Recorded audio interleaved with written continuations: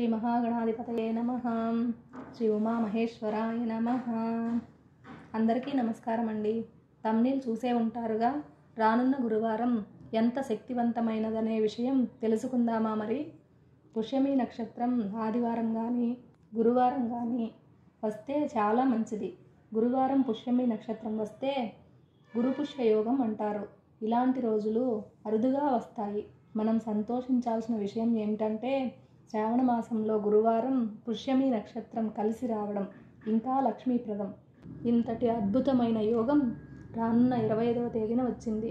ఈ గురుపుష్య యోగంలో చేయవలసిన పనులు ఏంటంటే భగవంతుని నామం జపం పారాయణలు గురుచరిత్ర వినడం చదవడం లేదా గురు దర్శనం వలన గురుబలం పెరుగుతుంది.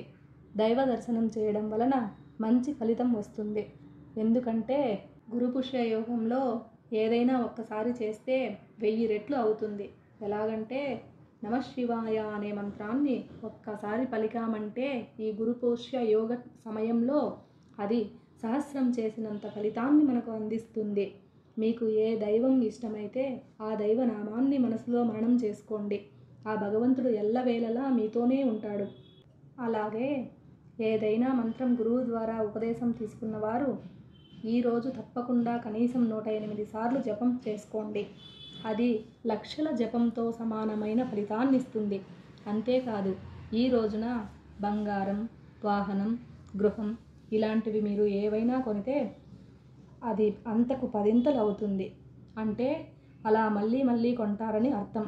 ముఖ్యంగా బంగారం కొంటే శుభప్రదం అంటారు. పెళ్ళి నిశ్చయమైన వారికి తాళిని గురు పుష్యయోగంలో కనడం వల్ల దీర్ఘ సుమంగళి యోగం కలుగుతుంది. కానీ పెళ్ళి మాత్రం ఈ రోజున చేయరట. అంతేకాదు ఈ రోజున అస్సలు చేయకూడని పని ఏంటో తెలుసా?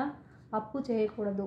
అలా చేస్తే అప్పు తీరకపోగా మళ్ళీ మళ్ళీ అప్పులు చేయవలసి వస్తుందట. వీలైతే దానం చేయగలిగితే చాలా మంచిది.